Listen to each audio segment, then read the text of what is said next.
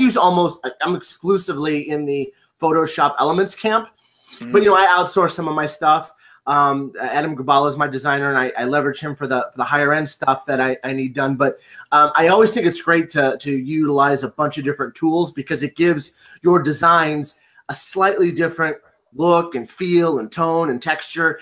And when you're building out a, kind of a robust, diverse catalog, you need that diversification of appearance. There's still value in those ads. I find myself these days looking more and more at advertisements to see what fonts are they using. What type of product is it? Are they targeting a male audience a female audience? If so what types of fonts and color schemes are they using to to reach me as a potential buyer? So all of a sudden ads are relevant in my life and i i, I welcome them now because i tend to learn something from them i would say look at page 10 and lower of google search results for for blogs within uh, a, a, niche you're, you're targeting. I mean, you could you could go on Google and do a search for the top 10 new hobbies or interests of, of Uh, 2018.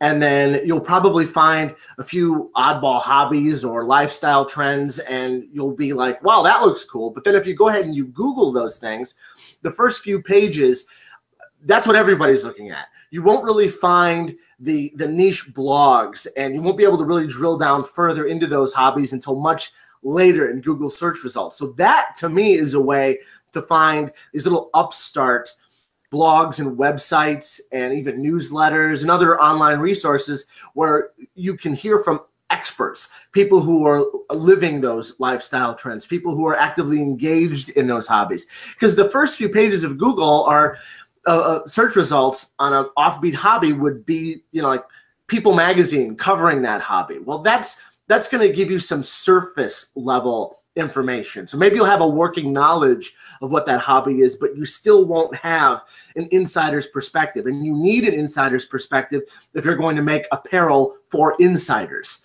So also Facebook groups are wonderful. Um, don't be turned off by a Facebook group in a particular interest if it only has 500 people in it. That's more than enough as long as those 500 people know what they're talking about. Join the group, be honest about why you're there. You want to learn more about it. You're in the apparel industry or you're blogging about it, whatever it is. Um, and invite those people to share their knowledge with you and and you can make shirts for them because chances are if it's a micro niche for a, a, health food trend for example those people are very passionate about it and they won't mind that you're there to learn more to make products because they probably want the word to be spread about whatever it is that they're doing. And maybe it could open a door for a partnership opportunity as well. You never know. But you know, in addition to the micro niches that are already out there, new ones are coming into being all the time. How do you find those?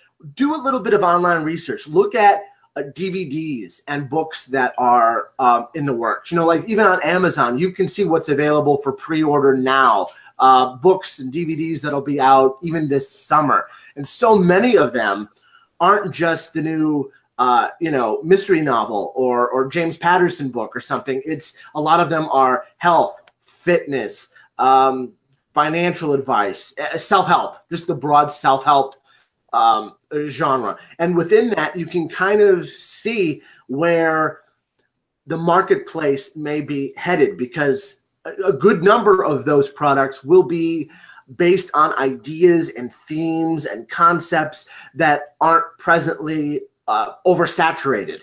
So it's a good way to see what's on the horizon, and most people don't do that. What um, if my mind ask, what what heritage are you or do you come from? I'm primarily Italian. Okay. I'm Italian with a little bit of Hungarian. Okay. And have you made any shirts that are Italian or Hungarian? Yes.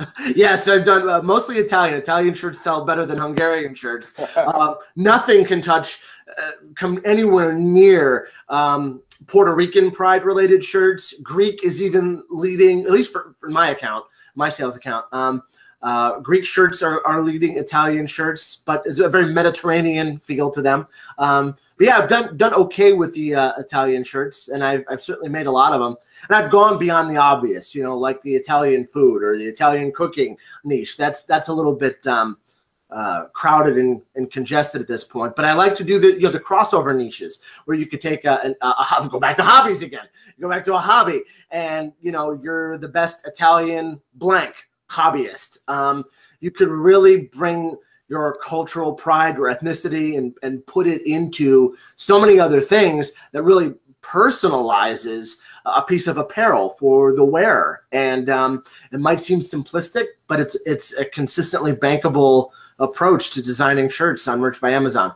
Really, if you're really hardcore into the uh, the culture of an of a nation or a nationality, um, you you should you should look into the different parts of the country and and everything from accents that are more indigenous to perhaps the southern part of a country as opposed to the northern there mm. are there are opportunities in there for um, for, for t-shirt creation that will really target buyers in a way that um, that's been lacking in the online uh, e-commerce world so that's one of those things where I don't think you need to try and reinvent the wheel. I mean, I think social media is your friend in that case. I think uh, I think you have to look at, uh, at what's what's moving on Twitter, what's trending, what's what are people on Facebook talking about? What are your friends and family talking about?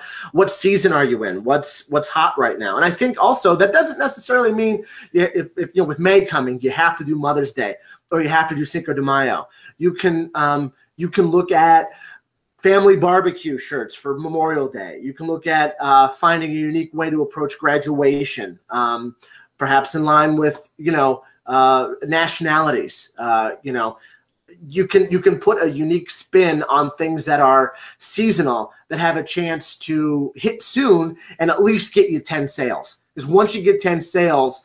You can start to to really snowball quickly, and right now Amazon is. I'm I'm seeing every day people post that uh, I just got approved for an account last week or a couple weeks ago. I've only sold a couple shirts, but I just got tiered up to 100.